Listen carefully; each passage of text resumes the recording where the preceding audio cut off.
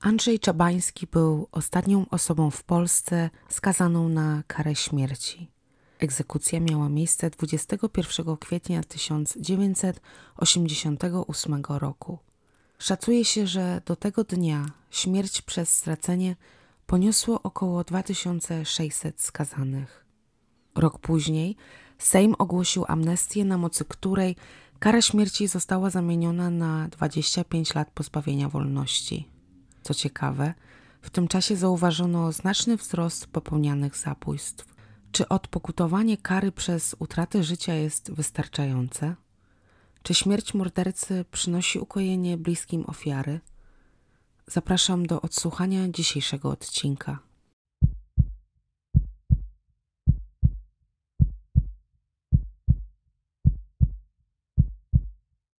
Andrzej Czabański, w niektórych źródłach przedstawiany również jako Stanisław Czabański, urodził się w listopadzie 1959 roku w Tarnowie. Mężczyzna razem ze swoim młodszym bratem Pawłem dorastali w dysfunkcyjnym domu. O ile mama chłopców, pani Krystyna, dbała o rodzinę i kochała swoich synów, to pan Czabański wykazywał zachowania przemocowe. Oprócz tego, że chorował na cukrzycę, to miał duży problem z alkoholem, który wpływał na atmosferę w domu. Często wszczynał awantury. Nierzadko podnosił rękę na swoich bliskich. Zdarzało się, że bił Andrzeja po głowie gołą ręką. Miał kolekcję siekier, która wzbudzała w domownikach strach i niepewność. Nie wiedzieli, kiedy pijany pan domu może jednej z nich użyć. Otoczenie, w którym wychowywał się Andrzej, miało duży wpływ na jego późniejsze zachowanie. W szkole uczył się raczej słabo. Nie był tak zwanym orłem. Był nerwowym chłopcem, który często dokuczał kolegom, a koleżanki ciągał za warkocze. Nauczyciele mieli z nim sporo problemów. Nie wykazywał również przyjaznych uczuć w stosunku do swojego młodszego brata Pawła. Potrafił zamykać go w pokoju na klucz na długie godziny i wypuszczał dopiero wtedy, gdy rodzice wracali do domu z pracy. Andrzej był nadmiernie pewny siebie. Lubił rozrywkowy tryb życia. Miał wielu znajomych, choć nigdy żaden z nich nie stawał się przyjacielem. W wieku 15 lat zaczął już pić alkohol, choć później w dorosłym życiu raczej go nie nadużywał. W 1974 roku za włamanie do piwnicy sąsiada dostał opiekę kuratorską. Andrzej nie wykazywał zbytniej ambicji w kształtowaniu swojej przyszłości. Po ukończeniu szkoły podstawowej poszedł do zawodówki, gdzie uzyskał tytuł kierowcy mechanika. Później zatrudnił się w przedsiębiorstwie handlu wewnętrznego w Rzeszowie. Jednak szybko został zwolniony, ponieważ nagminnie nie przychodził do pracy. W 1977 roku podjął pracę w szpitalu wojewódzkim w Tarnowie, w zakładzie remontowo-budowlanym. To właśnie tutaj poznał Teresę, swoją przyszłą żonę. Oświadczył się jej już po pierwszym spotkaniu. Kobieta na początku nie zgodziła się, bo uważała Andrzeja za zbyt zazdrosnego. Miała ku temu podstawy. Podczas wspólnych zabaw, gdy Teresa tańczyła z kimś innym, to Czabański podchodził do niej, ściągał siłą na bok i mówił, że impreza w tym momencie się dla niej skończyła. Andrzej odbywał w międzyczasie dwuletnią zasadniczą służbę wojskową. Niemal przez cały czas pisał do Teresy listy, wyznawał w nich swoją miłość, obiecywał zmianę. Miłosna korespondencja odniosła sukces, ponieważ już w 1980 roku para wzięła ślub. Noc poślubna była dla nich wyjątkowa, ponieważ to właśnie wtedy Teresa i Andrzej współżyli ze sobą pierwszy raz. Zaczęli wspólnie budować swoje dorosłe i odpowiedzialne życie. Kilka miesięcy po ślubie zdecydowali się zostać ajentami sklepu z częściami samochodowymi. Mężczyzna stanowił duże oparcie dla żony. Pomagał jej przy ciężkich pracach, dorabiając po godzinach również jako taksówkarz. Teresa niedługo później zaszła w pierwszą ciążę. Jej mąż był przeszczęśliwy. W tym celu zamówił nawet mszę w kościele, aby jego dziecko urodziło się zdrowe. Jego modlitwy zostają wysłuchane, a na świat przychodzi córeczka pary. Andrzej był dobrym mężem i kochającym ojcem. Sąsiadki pamiętały, jak zwracał się pieszczotliwie do żony, mówiąc do niej tereniu. Jednak w jednym aspekcie małżeństwo zaczęło się różnić. Chodziło o potrzeby seksualne mężczyzny, które z dnia na dzień były coraz większe. Dla żony seks nie miał tak dużego znaczenia. Nie chciała kochać się z nim tak często, jakby chciał tego Andrzej. Mężczyzna zaczął więc szukać możliwości zaspokajania swoich potrzeb gdzie indziej. Stanisława U., znajoma Andrzeja, będzie opowiadać później o krótkim romansie, który między nimi miał miejsce. Wspominała mężczyznę jako samolubnego kochanka, który dążył tylko do własnego zaspokojenia. Nie był czuły, tak jakby tego oczekiwała. Wizualnie bardzo jej się podobał. Ubierał się modnie, był zawsze czysty i zadbany. Zdecydowanie wyróżniał się wśród innych mężczyzn, których znała. Dodatkowo często opowiadał jej o żonie, która zrobiła się oziębła, zazdrosna, robiła mu wymówki o wszystko. Jednak Andrzej oprócz zdrad małżeńskich skrywał jeszcze jeden sekret. Chyba największy, z którym żył przez kilkanaście lat. Otóż, pomimo tego, że mężczyzna szukał przylotnych romansów wśród swoich koleżanek, to jego serce od dawna biło szybciej tylko dla jednej kobiety. I nie była to Teresa. Andrzej, odkąd pamiętał, kochał się w Iwonie Nowak, swojej dawnej sąsiadce z rodzinnego domu przy ulicy Skowronków. Kobieta przewijała się w jego marzeniach i snach. Często o niej fantazjował. Nie przeszkadzało mu to, że jest od niego starsza o 16 lat. Iwona miała męża Sławomira, który na co dzień pracował w Stanach Zjednoczonych jako protetyk. Regularnie przesyłał dolary i prezenty rodzinie. Jego żona oraz dwie córki mogły dzięki temu żyć na wysokim poziomie w Polsce. Sąsiedzi widzieli doskonale, że rodzinie Nowaków pieniędzy nie brakowało. Wyremontowali mieszkanie, kupili nowe meble. Szał wśród sąsiadów robiła lodówka z zamrażalnikiem, kupiona aż za 360 dolarów. Iwona była kobietą z klasą, bardzo zadbaną, zawsze w eleganckich ciuchach. Nosiła modną biżuterię, w jej szafie wisiały drogie futra, a na półkach leżało około 30 par butów. Córki Nowaków również wyróżniały się wśród swoich rówieśników. Słuchały amerykańskiej muzyki i ubierały się w to, co aktualnie było modne i na czasie. I choć mogło się wydawać, że Iwona w jakiś sposób odstawała od swoich sąsiadów, zadzierała nosa czy wywyższała się, to było całkowicie na odwrót. Nowakowie z niczym się nie kryli. Sąsiedzi często bywali u nich w domu. Gospodyni prowadziła dom otwarty. Zresztą były to ciężkie czasy komunizmu. Polacy jako naród, społeczność byli ze sobą bardzo blisko. Organizowali prywatki, na które przychodzili z koszykami wypchanymi po brzegi łakociami. Zazwyczaj były to ciężko zdobyte rarytasy. I tak też było u mieszkańców ulicy Skowronków w Tarnowie. Sąsiedzi pomagali sobie, zapraszali się nawzajem do swoich mieszkań na imieniny, czy nawet pożyczali sobie pieniądze. Wiedzieli, że mogą sobie ufać. W końcu każdy każdego dobrze znał. Iwona często żaliła się sąsiadom, że tęskni za mężem, który potrafił przez długie lata nie zjeżdżać do domu. Miała z mieszkańcami swojego bloku dobre relacje. Zaliczała się do osób wesołych. Jedna sąsiadka szyła nawet dla niej sukienki, a kolejna pilnowała samochodu Iwony, która specjalnie parkowała go pod jej oknami. To właśnie tej sąsiadce pani Nowakowa zwierzała się, że Andrzeja Czabańskiego nie lubiła szczególnie. Na jego widok miała dostawać ataków nerwowych. Sąsiedzi wiedzieli, że młody Czabański podkochiwał się w sąsiadce. Jasno okazywał, że miał na jej punkcie świra. Nie bez przyczyny tak często, nawet i po ślubie, odwiedzał swoją matkę, która mieszkała nad Nowakami. Iwona dobrze znała się z panią Krystyną Czabańską. Często spotykały się przed blokiem i siadały na ławce, by porozmawiać ze sobą. Starsza córka Iwony chodziła z młodszym synem pani Krystyny do jednej klasy. Często więc przychodziła do domu Czabańskich, by zdać relacje z wywiadówki, na której nie mogli być. Rodziny były ze sobą tak blisko, że Nowakowie bawili się nawet na przyjęciu weselnym Andrzeja i Teresy. Przy kolejnym wspólnym spotkaniu pod blokiem pani Czabańska chwaliła się Iwonie, że ma kolejny powód do radości, ponieważ po raz kolejny zostanie babcią.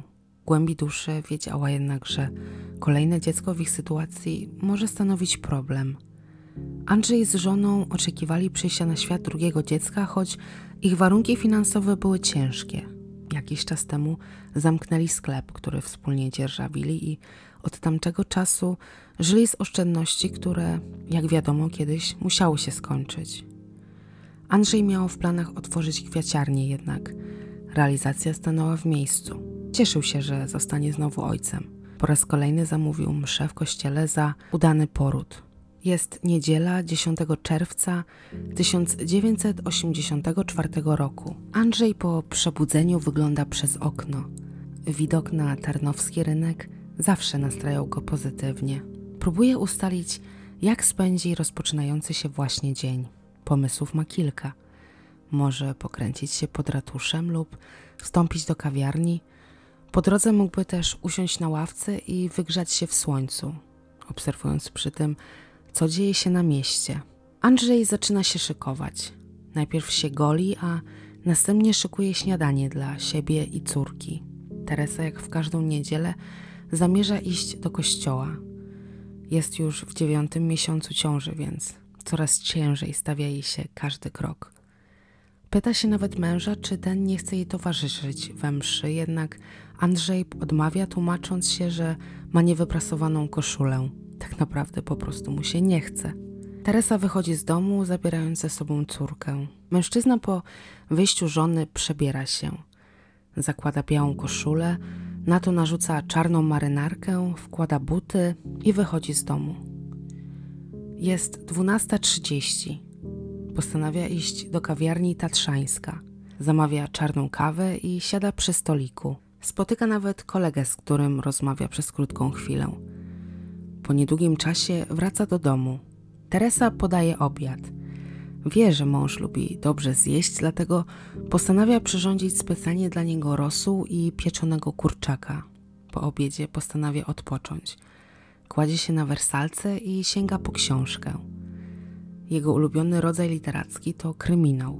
Lubi czytać o morderstwach, a jeszcze bardziej o detektywach, którzy tropią zabójców. Andrzej nie zamierza jednak przeleżeć całego dnia. Decyduje się odwiedzić mamę. Wsiada do swojego Fiata 126P i kieruje się w stronę ulicy Skowronków. Razem z panią Krystyną ustalają na miejscu, że pojadą do Pogórskiej Woli, gdzie mieszka babcia Andrzeja. Kobieta mieszka sama.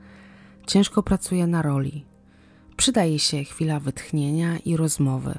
Po spędzonym czasie na wsi wracają wspólnie do mieszkania Krystyny. Andrzej postanawia nie wracać jeszcze do domu. Chce poświęcić trochę uwagi swojemu bratu. Siadają więc przy stoliku i zaczynają grać w karty. Czas szybko mija. Krystyna upomina Andrzeja, że powinien już wracać do domu, do ciężarnej żony. Mężczyzna zbiera się i kiedy chce wychodzić, w drzwiach zostaje sąsiada, Edwarda. Dawno się nie widzieli, więc to idealna okazja, by spędzić wspólnie trochę czasu i porozmawiać. Edward wyciąga z kieszeni marynarki butelkę z bimbrem. Andrzej zaprasza sąsiada do środka i kierują się w stronę kuchni. Pani Krystyna częstuje mężczyzn kolejną butelką wódki. Andrzej z Edwardem po wypiciu zawartości dwóch butelek wychodzą z mieszkania przy ulicy Skowronków i kierują się w stronę przystanku autobusowego. Tam się rozstają. Andrzej wsiada do taksówki i prosi kierowcę, by zawiózł go do domu. Czabański po drodze zauważa Barbarę, swoją starą znajomą. Opuszcza szybę w dół, zaczyna ją wołać, jednak ta nie odpowiada. Andrzej każe zatrzymać się kierowcy. Płaci i wysiada. Podchodzi do kobiety, która w końcu go rozpoznaje i zaprasza do siebie do domu, gdzie jest jej mąż Stefan. Tam częstuje go wódką. Dla mężczyzny jest to już trzecia butelka. Czuje już wyraźnie działanie alkoholu. Andrzej zaczyna kokietować Barbarę. Wysyła jej zalotne spojrzenia. Alkohol sprawia, że nabiera ogromną ochotę na seks. Pomimo tego, że w domu jest mąż kobiety, to Andrzej inicjuje kontakt seksualny. Jednak po takiej ilości wódki mężczyzna ma kłopoty z męskością. Stwierdza, że czas przynieść imprezę w inne miejsce. Wciska w dłoń Stefana tysiąc złotych i każe mu zorganizować wódkę. Wsiadają w trójkę do taksówki i trafiają do mieszkania kolejnych znajomych przy ulicy Krótkiej. Piją dalej. Andrzej jest już solidnie wstawiony. O dziwo Czabański przypomina sobie o ciężarnej żonie i chce wracać do domu. Andrzej nie miał pojęcia, że o 23 u jego żony Teresy zaczęły pojawiać się bóle porodowe. Jej matka dzwoniła nawet do Krystyny, aby jej syn wrócił do domu, jednak Andrzeja już u niej nie było. Na zegarze zbliża się już godzina druga nad ranem. Mężczyzna wychodzi z mieszkania znajomych, jednak zamiast kierować się w stronę ulicy Wekslarskiej, gdzie mieszka, zmierza ku ulicy Skowronków. Prawdopodobnie woli tę noc spędzić u matki, by nie denerwować Teresy swoim stanem. Nie wiadomo dlaczego Andrzej zamiast do drzwi matki puka do drzwi jej sąsiadki, Iwony Nowak, swojej wielkiej miłości. Kobieta jest zdziwiona wizytą mężczyzny o tak późnej porze. W dodatku widzi, że jest mocno pijany. Ten jednak uspokaja ją i mówi, że dzwoni jej mąż z Chicago i musi jechać na pocztę, by mogła z nim porozmawiać. Andrzej oferuje jej, że ją tam zawiezie. Iwona jest przejęta. Nie miała kontaktu z mężem od bardzo dawna. Wiadomość, że czeka na linii ją ucieszyła. Wpuszcza Andrzeja do środka i pośpiechu się szykuje. Po krótkiej chwili wychodzą z domu. Pomimo tego, że Czabański jest wyraźnie pijany, Iwona wsiada do samochodu jako pasażer. Cel poczta. Znaczny nadmiar alkoholu nie ułatwia prowadzenia samochodu. Andrzej szybko wzbudza zainteresowanie milicjantów odbywających akurat nocną służbę. Odpalają silnik i ruszają w ślad za Fiatem. Andrzej szybko zauważa, że jedzie za nim milicja. Zaczyna krążyć ulicami Tarnowa, by ich skupić. Jedzie szybko, nagle zwalnia, ścina zakręty. Znaki drogowe są już dla niego nieistotne. W pewnym momencie postanawia gwałtownie przyspieszyć, by zwiększyć dystans między nimi a milicją. Iwona wyraźnie się boi. Ciężko oddycha, a stres odbiera jej zdolność mówienia i krzyczenia. Jest sparaliżowana. Andrzejowi udaje się zgubić milicję. Wraca pod blok na ulicę Skowronków. Zamienia się samochodami z Iwoną. Mają te same auta, więc tym razem prowadzi kobieta. Milicji tym razem udaje się skontrolować podejrzany samochód. Funkcjonariusz wyraźnie czuje zapach alkoholu, który unosi się w aucie. Jednak nic nie może zrobić, bo to pasażer pił i miał do tego prawo. Iwona tłumaczy milicjantowi, że spieszy się na pocztę, bo czeka na nią telefon od męża z Ameryki.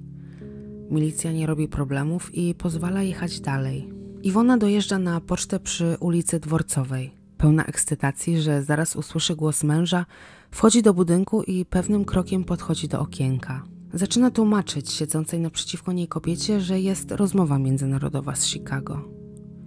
Zdziwiona ekspedientka nie wie nic o żadnej rozmowie. Mówi Iwonie, że nie ma na linii żadnego mężczyzny dzwoniącego z Chicago. Zdezorientowana Iwona woła Andrzeja. Mężczyzna jest spokojny. Zachowuje się normalnie, nie wygląda na pijanego. Andrzej tłumaczy kobietom, że to jego matka wspominała mu o telefonie ze Stanów. Dla ekspedientki nic nie trzyma się kupy. Skąd mogła wiedzieć, że pan Nowak dzwoni akurat do żony? Miałaby przechodzić akurat o drugiej w nocy koło poczty? Ekspedientka dzwoni do centrali, aby pomóc swoim klientom. Zresztą sama już jest poddenerwowana i nie wie, jak wybrnąć z tej nietypowej sytuacji. Pracownik centrali informuje kobietę, że żadna rozmowa z Chicago nie była na dzisiaj zamawiana. Iwona nie zdaje sobie sprawy z tego, co się właśnie dzieje. Jest zawiedziona, bo jedyne czego chciała to tylko usłyszeć głos męża. Para opuszcza budynek poczty. Po drodze do samochodu Andrzej mówi jej, że ma kolegę w Skrzyszowie, który pracuje na poczcie i ma wiedzę na temat połączeń międzynarodowych.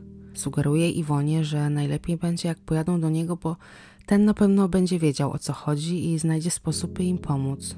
Iwona z Andrzejem wsiadają do Fiata 126P i ruszają w drogę w kierunku Skrzyszowa. Jest ciemna noc.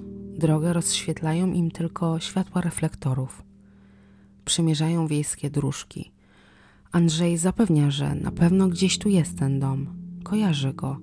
Już kiedyś tam był, więc gdy tylko go zauważy, to będzie wiedział, że to ten. Czabański zatrzymuje się na poboczu.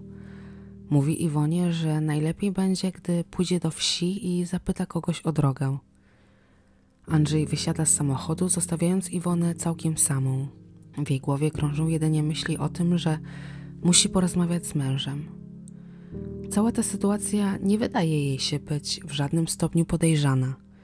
Nie zdaje sobie sprawy, że szukają domu, który tak naprawdę nie istnieje. Po chwili Andrzej wraca. Mówi kobiecie, że niczego się nie dowiedział. Ruszają w dalszą drogę. Mijają cmentarz. W Iwonie wzbudza ten widok niepokój. Po raz pierwszy mówi wtedy, że się boi.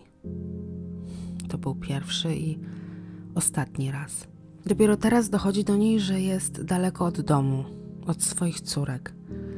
Nikt nie wie, gdzie jest. Iwona widzi tylko błyszczące w ciemności oczy Andrzeja i ślinę, która gromadziła mu się w kąciku ust. Mężczyzna w pewnym momencie zatrzymuje samochód.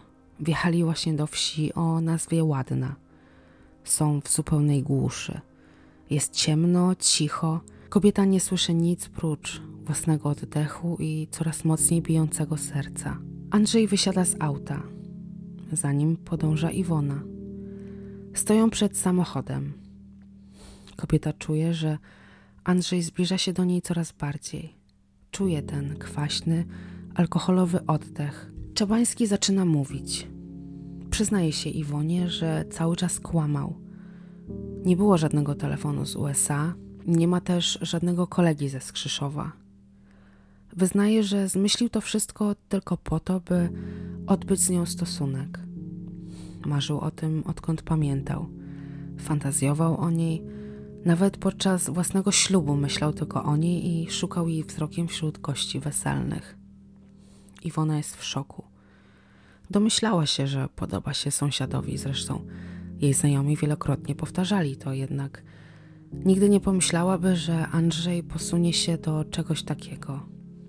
Mówi do mężczyzny, że jest od niego starsza o 16 lat że widziała, jak dorastał, jak bawił się w piaskownicy. Dla Czabańskiego nie stanowi to jednak żadnego problemu. Kobieta przypuszcza, że żadne słowa w tym momencie nie mają sensu, że nic nie wskóra. Zaczyna łączyć ze sobą fakty. Jest pewna, że Andrzej, pukając do jej drzwi, miał już wszystko zaplanowane. Wiedział, jakiego kłamstwa użyć, by wybawić ją z domu. Wiedział, gdzie pojadą w którym miejscu będzie chciał ją zgwałcić. Andrzej popycha osupiałą Iwonę z całej siły. Kobieta upada na ziemię, wstaje. Próbuje uciekać, ale mężczyzna dogania ją i uderza z otwartej dłoni w głowę. Kobieta odczuwa cios, jednak stara się walczyć dalej. Nie poddaje się. Wyrzut adrenaliny sprawia, że biegnie przed siebie ile sił w nogach. Jednak Andrzej jest zdeterminowany dogania ją. Przewraca kolejny raz na ziemię. Siada okrakiem na jej brzuchu, namawia do seksu, zrywa bieliznę. Iwona nadal próbuje negocjować. Mówi, że boi się cmentarza. Proponuje, by poszli do jej mieszkania i zrobili to w łóżku. Andrzej wie, że to kłamstwo i mówi, aby nie próbowała uciekać.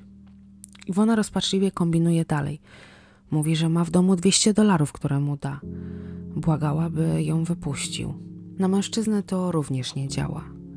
Jest podniecony jak nigdy. Marzył w końcu o tej chwili od tylu lat. Dochodzi do gwałtu. Iwona jest przerażona. Czuje obrzydzenie do siebie i do Andrzeja. W jej głowie krąży tylko myśl, co powie mężowi.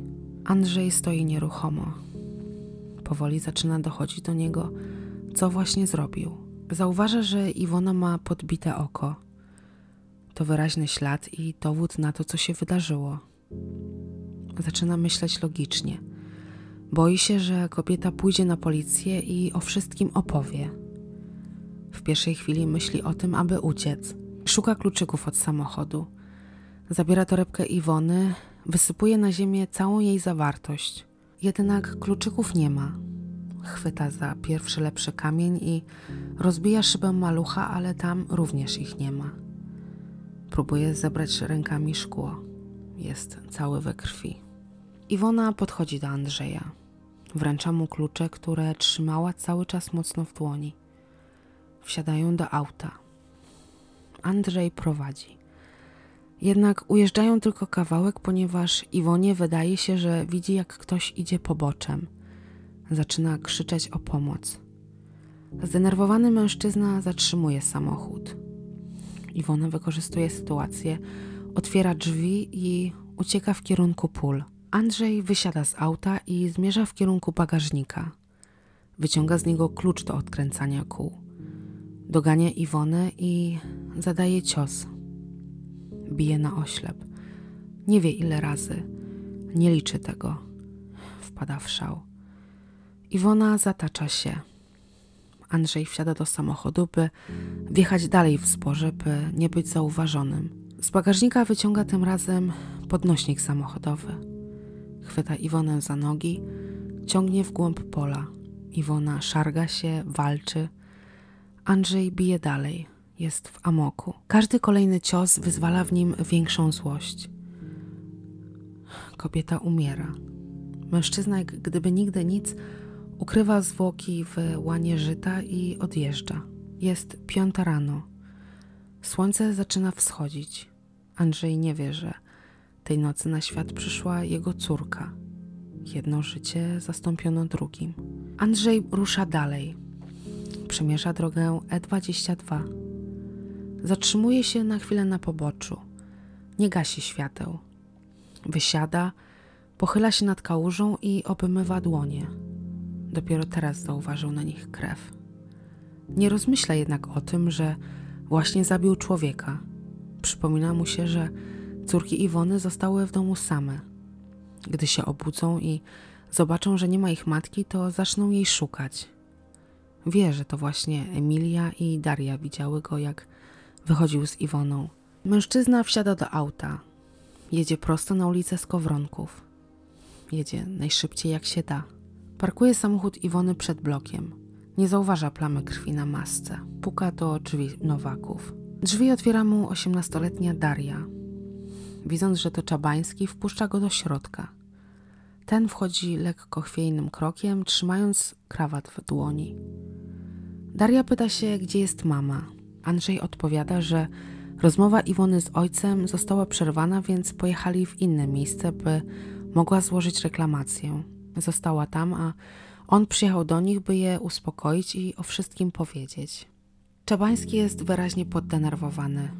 Na domiar złego zauważa przez okno swoją matkę, która właśnie idzie do Teresy do szpitala. Bał się, że go zauważy.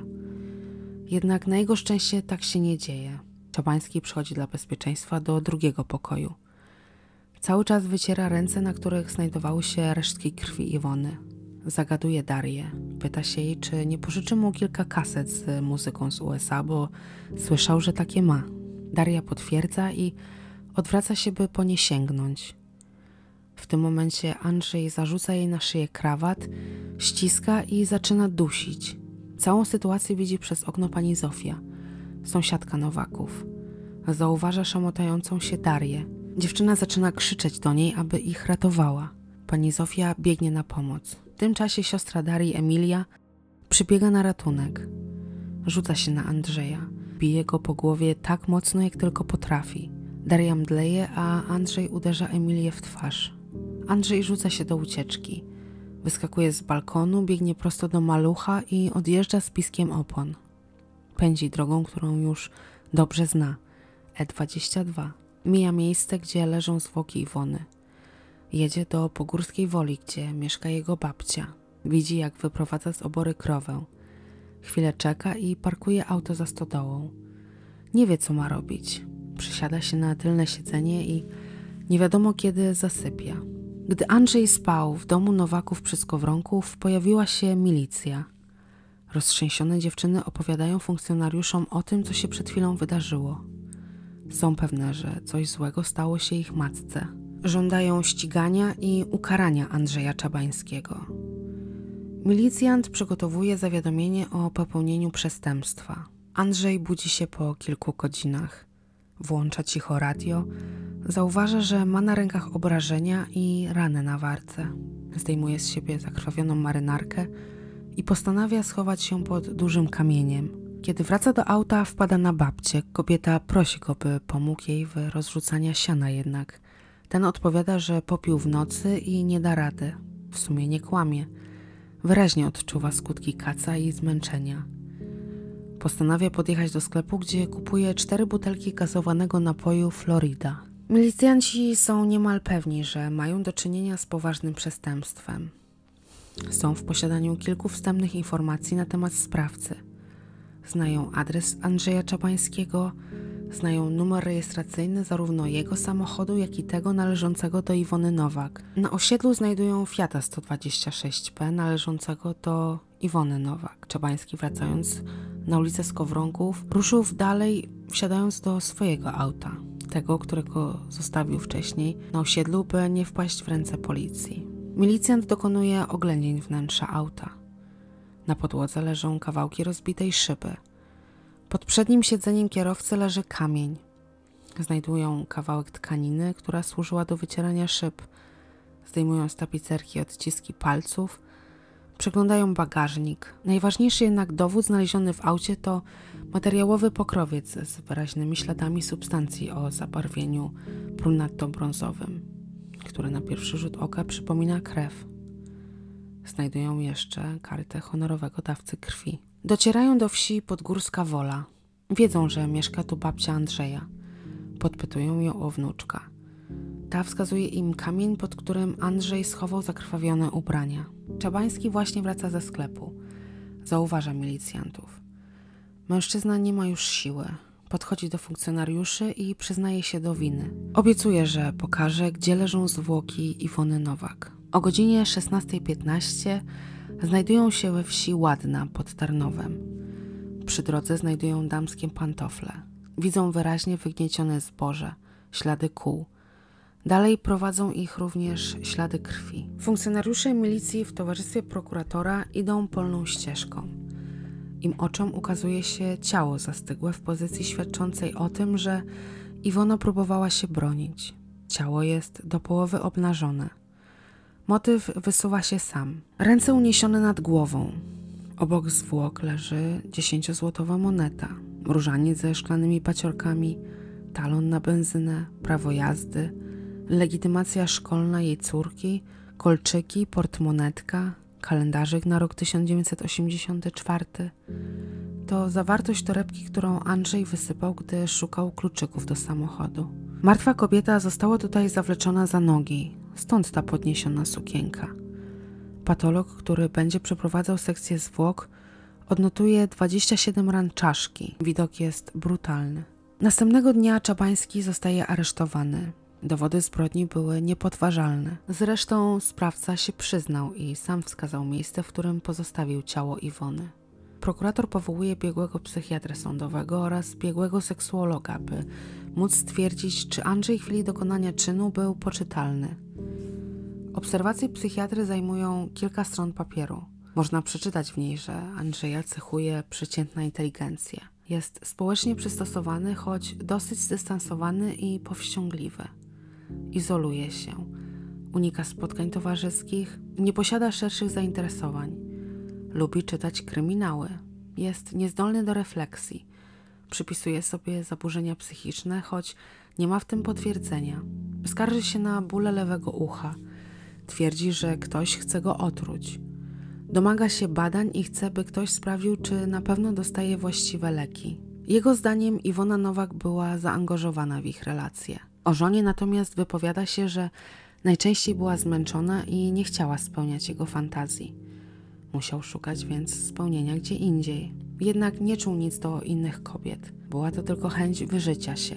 Biegły seksuolog Zbigniew Lew-Starowicz nie stwierdził u Czabańskiego dewiacji seksualnych. W trakcie śledztwa wychodzi na jaw jednak bardzo istotny fakt.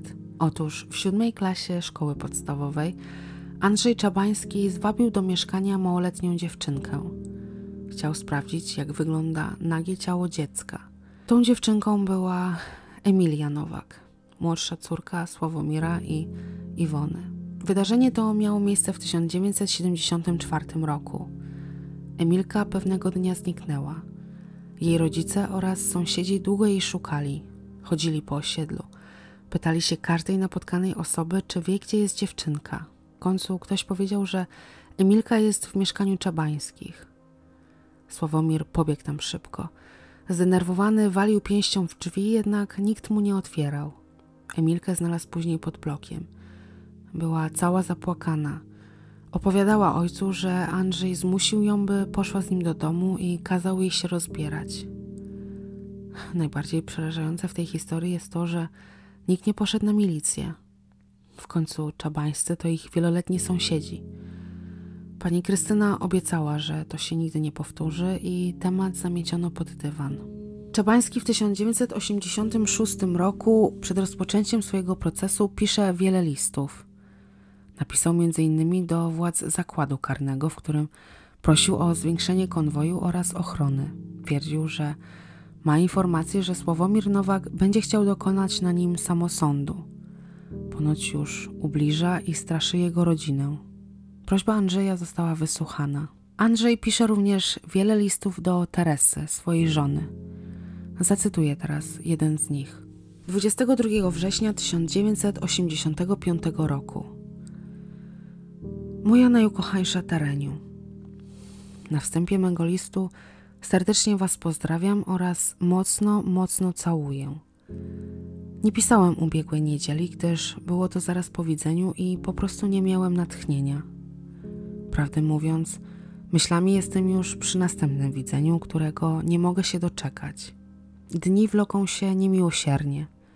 Przestałem już wypatrywać listów od was, bo tylko się zagnębiam. Rozumiem ciebie, że nie masz czasu, a jestem ci ogromnie wdzięczny za przyjazdy na widzenie. Ale kochana, widzisz, te 30 minut nie zaspokajają mojej żądzy wiedzy, co robicie, jak z dziećmi, w co się bawią.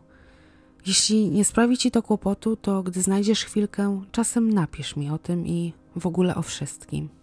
Co poza tym, pewnie spytasz, kochanie, dzień jak co dzień.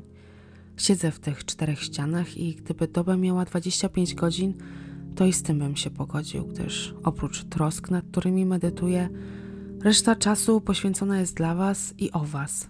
Kochanie, tutaj na tym oddziale każdy ma łóżko, takie duże, metalowe, szpitalne, twarde jak nie wiem co. Ale do tego od dawna jestem przyzwyczajony. Okna duże. Od strony celi krata, od zewnątrz krata, a za nią zasłona z szyby zbrojnej, aby nie tyle ograniczać pole widzenia, ale też pozbawić powietrza. Zawsze, kiedykolwiek przechodziliśmy obok więzienia, będąc tureczką na spacerze, odczuwałem pewien lęk przed tym miejscem i pragnienie, aby nigdy do więzienia nie trafić. Lęk, a zarazem wstręt do tego miejsca, gdzie w 99% przybywa sam element. I choć tutaj trafiłem i minęło sporo dni, dalej odczuwam pewien wstręt. Wielu jest tu takich, którzy nigdy nic w życiu nie mieli, łącznie ze zdrowym rozumem. I tak w ten sposób ma wyglądać moje przystosowanie się do życia w społeczeństwie, które tutaj zowie się resocjalizacją. Ale właściwie to tylko niepotrzebnie piszę o wielkich sprawach, gdyż mnie resocjalizacja i tak nie obejmie. Przecież świadom jestem, jak straszny czyn popełniłem i wiem, że wyrok ten najwyższy jest mi przeznaczony. Nie ma co się okłamywać. Potrzebna jest prawda, prawda prosto w oczy Naprawdę do tej pory nie mogę uwierzyć, lecz muszę. Andrzej. Przed sądem wojewódzkim w Tarnowie Andrzeja broni Andrzej Skubisz. Oskarżycielem posiłkowym jest Artur Wrona. Młody prokurator wspomina, że Andrzej nie wyróżniał się niczym specjalnym wśród innych morderców. Nie zachowywał się dziwnie. Ze spokojem przyjmował wszelkie zarzuty oraz sam wyrok. Zdawał sobie doskonale sprawę z tego, co zrobił, pomimo wszelkiej brutalności. Gryzie się to z tym, że podczas pobytu w więzieniu zrobił sobie tatuaż. Urodziłem się po to, aby na ziemi stworzyć piekło. 666.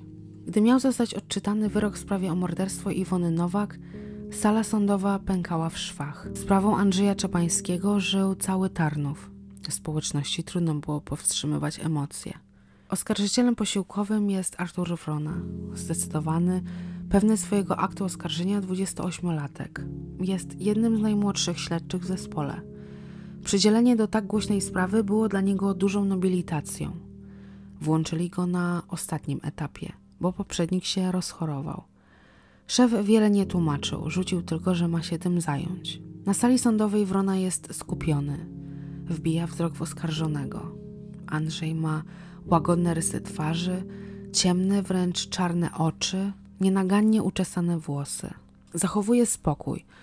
Nie ucieka wzrokiem, a przecież wie, jaki będzie najbardziej prawdopodobny finał. Prokurator Wrona nie ma wątpliwości. Żąda najwyższej możliwej kary. W tamtym czasie była to szubienica. Sędzia odczytuje wyrok.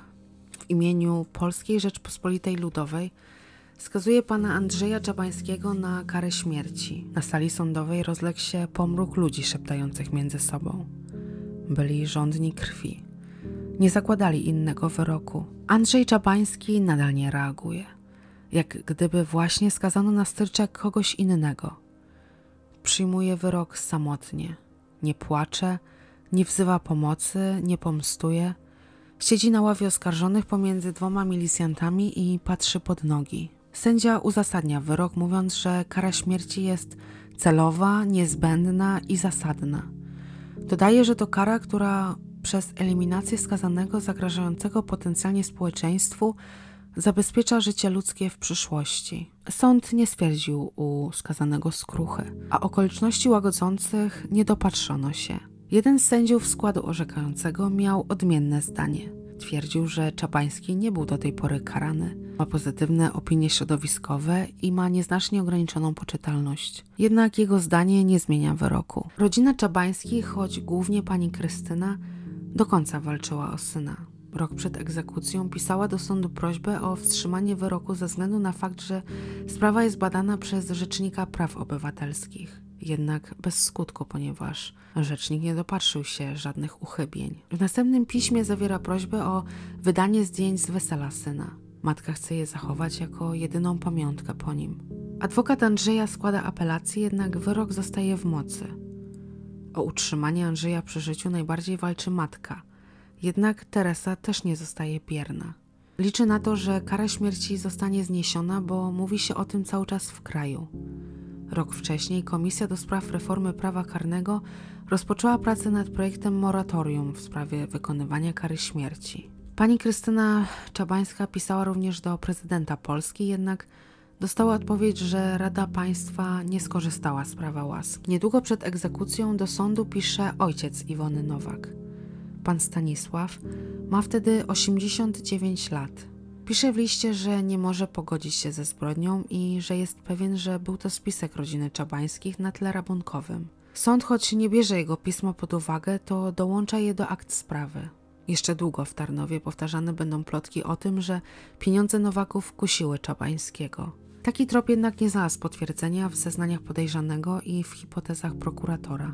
W źródłach znalazłam informacje o tym, że do Andrzeja pisał listy również jego ojciec, jednak nie znalazłam nigdzie treści żadnego z tych listów. 21 kwietnia 1988 roku ma zostać wykonana egzekucja, o czym skazany Czabański jeszcze nie wie. Zostaje wyprowadzony z celi pod pretekstem spotkania z przedstawicielem Rady Państwa, która rozpatrywała wniosek o ułaskawienie. Morderca zostaje zbadany przez lekarza, ponieważ aby wykonać egzekucję, skazaniec musi być zdrowy. Do Krakowa w międzyczasie przyjeżdżają wynajęci Kaci. Zawsze było ich dwóch. W dokumentach mieli fałszywe dane. Ich prawdziwą tożsamość znało tylko kilka osób z Centralnego Rejestru Zakładów Karnych. Mówiło się, że jeżdżą po całej Polsce czarną wołgą. Na ostatnie sekundy życia zwyrodniałego mężczyzny patrzyli prokurator, naczelnik aresztu, adwokat, lekarz i ksiądz. Nie wiedzieli, że po nich nikt już nie będzie w Polsce świadkiem żadnej egzekucji. Prokurator orzeka. Rada Państwa nie skorzystała z prawa łaski. Wyrok zostanie wykonany. Andrzej dosłownie zamiera. Jest sparaliżowany ze strachu. Zostaje zapytany o swoje ostatnie życzenie. Czabański decyduje się na papierosa. Zgodnie z procedurami nie spełniało się prośby, której realizacja zajęłaby ponad godzinę albo byłaby uznana za niemoralną. Skazany nie mógł więc poprosić na przykład o alkohol. Musiał być w pełni świadomy. Najczęściej skazani prosili o papierosa. Niektórzy siadali nawet za stołem i próbowali skreślić na kartce kilka ostatnich słów. Czabański zostaje tylko przy papierosie. Listu nie pisze.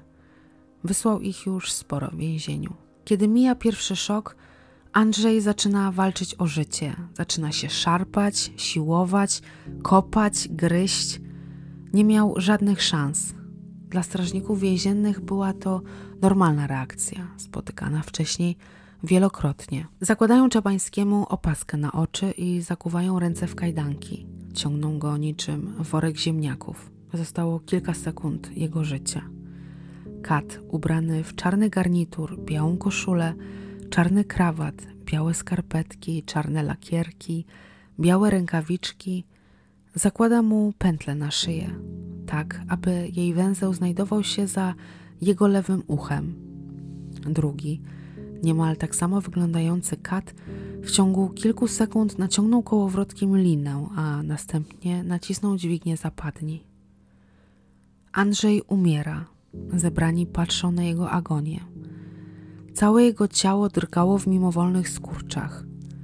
Trwało to ze 20 sekund, potem drgawki ustały. Zgodnie z zarządzeniem dyrektora Centralnego Zarządu Zakładów Karnych, zwłoki musiały wisieć na linie przez jeszcze 20 minut. Później lekarz więzienny stwierdzał zgon. Ciało Denata zdjęto z pętli i w więziennym ubraniu złożono w przygotowanej jeszcze za jego życia trumnie. Kat, zgodnie z niepisaną tradycją, zdjął białe rękawiczki i wrzucił je do trumny na piersi swojej ofiary. I tu kończy się historia Andrzeja Czabańskiego i Iwony Nowak. Choć przez wiele następnych lat będzie ona wspominana i omawiana przez wiele osób, głównie przez fakt, że była to ostatnia wykonana kara śmierci w Polsce. Co działo się później? Paweł, brat Andrzeja, zapił się na śmierć. Nie mógł poradzić sobie z tym, co się wydarzyło. Rozładowywał smutek w alkoholu. Mama Andrzeja przeżywała cały czas śmierć syna. Chodziła po osiedlu i mówiła, czemu tak późno wprowadzili amnestię, czemu powiesili jej syna. Na starość już nie było z nią kontaktu. Głaskała Pawła po głowie i mówiła synku, choć nie wiedziała, czy to Paweł, czy Andrzej. Pani Krystyna umarła w domu opieki społecznej. Nowakowie wyprowadzili się zaraz po tragedii i nikt nie wie do tej pory, co się z nimi dzieje. Sławomir wyjechał do Stanów i tam podobno zmarł lub zaginął. Daria nie mieszka w Polsce. Nie wiadomo, co się dzieje z Emilią. Ta tragedia zmieniła ich na zawsze. Kiedy Iwona umarła, mąż niemal natychmiast wrócił ze Stanów. Chodził i płakał, pytał się sąsiadów, czemu nic nie zrobili. Powtarzali tylko, że Iwona była dobra, ale strasznie naiwna. Nie wiadomo, co się dzieje z żoną Andrzeja oraz jego córkami. Kamienica na Wekslarskiej jest pusta, zabita deskami. Andrzej nie zdążył poznać swojej drugiej córki, która rodziła się, gdy umierała Iwona. To już wszystko, co przygotowałam dla Was na dzisiaj. Myślę, że sprawa Andrzeja Czapańskiego powinna znaleźć się na tym kanale, nawet jeśli większość z Was już o niej słyszała. Jest to w końcu historyczna sprawa. Ostatnia kara śmierci w Polsce. Historia sama w sobie jest ciekawa, choć co najmniej kilka razy miałam wrażenie, że śmierci Iwony można było uniknąć. Po raz pierwszy miałam takie wrażenie, gdy Iwona w ogóle zdecydowała się wyjść z Andrzejem z mieszkania i to o drugiej w nocy. Wsiadła z nim do samochodu, widząc, że jest totalnie pijany. Rozumiem chęć rozmowy z mężem, ale czy nie można było zachować zdrowego rozsądku? Pojechać chociażby samej na pocztę. Nie wspominam o tym, że nadal utrzymywała kontakt z rodziną Czabańskich po tym, jak Andrzej napastował ich córkę. Nie rozumiem, jak można było zamieść temat pod dywan i udawać, że nic się nie stało i dalej utrzymywać kontakty z takimi ludźmi. Nie mam dzieci, ale myślę, że nigdy nie dopuściłabym do takiej sytuacji. Choć może tylko teraz tak łatwo mi się o tym mówi, nie wiem. Następna sprawa, którą chciałabym poruszyć, to historia Leszka Pękalskiego. Bylibyście ciekawi tej historii? Chciałabym, aby to była ostatnia sprawa w czerwcu, może przedostatnia. Jeszcze nie wiem, bo jeśli chodzi o Leszka Pękalskiego, to jest bardzo dużo dostępnego materiału na jego temat i nie wiem po prostu, jak długo zajęłoby mi przygotowanie tej sprawy. Chciałabym wypożyczyć książki pani Magdaleny Omilianowicz, e, która właśnie pisała materiały na na jego temat. Także dajcie znać, czy bylibyście ciekawi, czy jest, znaczy, czy jest sens. No zawsze jest sens, ale czy interesowałaby Was um, ta historia. Dziękuję oczywiście za subskrypcje i komentarze. Jest już nas ponad 4000, więc to jest zgromadzić taką liczbę, no w, powiem Wam chyba już w miesiąc. Miesiąc prowadzę kanał, to jest dla mnie naprawdę wow.